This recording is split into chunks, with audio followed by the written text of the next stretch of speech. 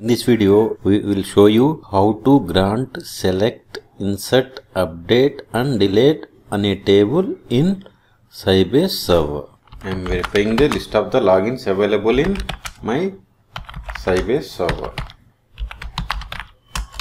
So I have 11 Sybase logins available. Out of these, 9 are user logins. Now I am going to grant select on the table EMP. First verify whether the table EMP exists or not. Select name from sys objects where name equals to EMP. So the table exists. Now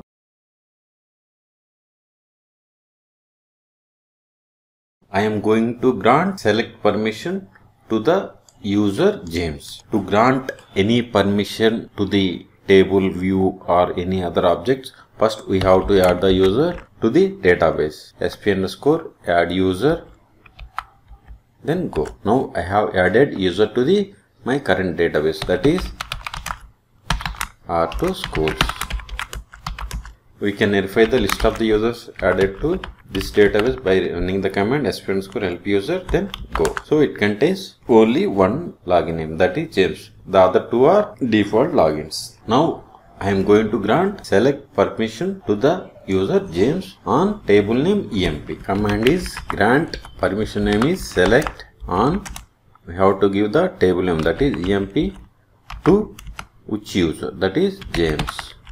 Now we have granted the select permission on table emp to the user James. We can verify that by running the command sp underscore help protect emp.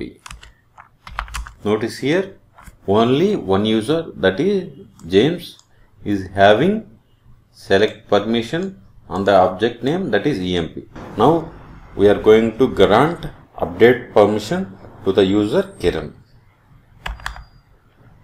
Notice here grant update on table name emp to Kiran.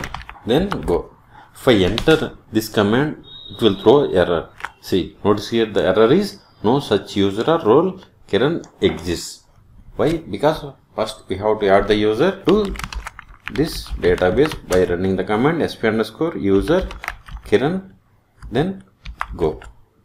Now grant the permission update on emp to Kiran then type go. Now we haven't received any error. So we have granted select in update to the two different users.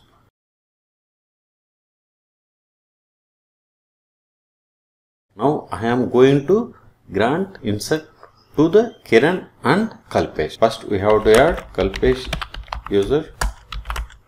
Now grant permission to more than one user. Grant insert on EMP to Kiran and Kalpesh. Now we have granted single permission to multiple users. Now I am going to grant delete permission to the Michael. Grant delete on EMP to Michael go. Again he has thrown error. Why? Because we have to add user to the database. Now grant delete on emp to Michael.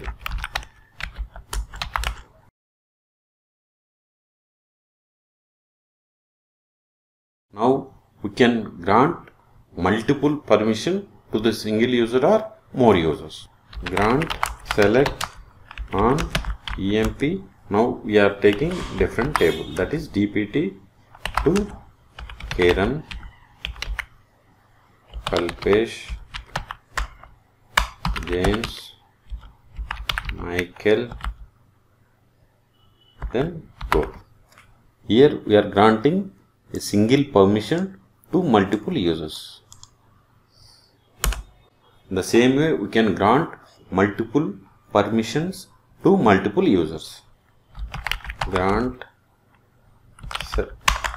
insert delete and update on DEPT table to users Kalpesh, Kiran, Michael and James.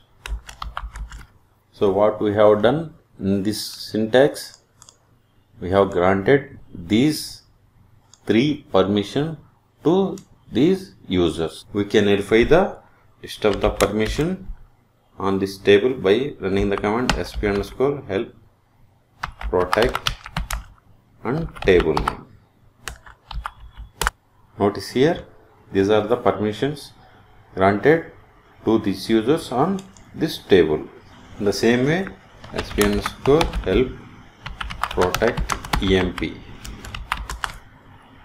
Notice here this user got select and this user got insert again Kiran got two permissions insert and update Michael got only delete permission now we can verify James can use select statement on EMP or not by exit from this ISQL tool and connect to Sybase server use R2 schools because EMP table exists in R2 schools database. Select star from EMP then go. Now we are able to run the select statement on EMP table with the user James. Now exit from this console, connect with a different user Kiran. Now go to R2 schools now run the select star from emp then go see we have received the error because this user Kiran doesn't have select permission on this emp table. We can verify that sp underscore help pro protect emp see here. Only James is having select permission. But Kiran doesn't have select permission on this EMP table. In the next video, we will see how to revoke these permissions from the Sybase table or Sybase object. For more Sybase videos, please subscribe my channel. Thank you.